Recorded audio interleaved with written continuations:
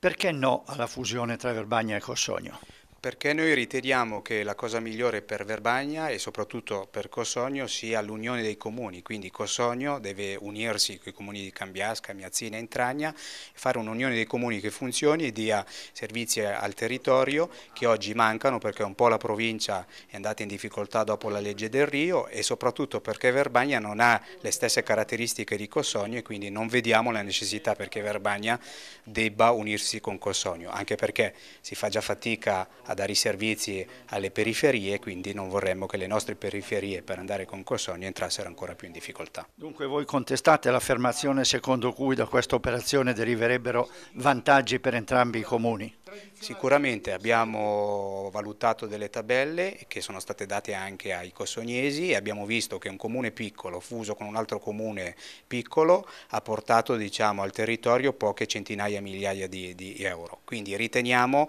che questi milioni non giustificano questo aspetto, anzi siamo preoccupati perché riteniamo che su Cossogno, su, la, diciamo, quando Marchionini era sindaco, ci sono delle cose che devono essere esplicitate meglio. Il vostro è un no a questo caso specifico, non in generale alle politiche di fusioni e unioni di comuni.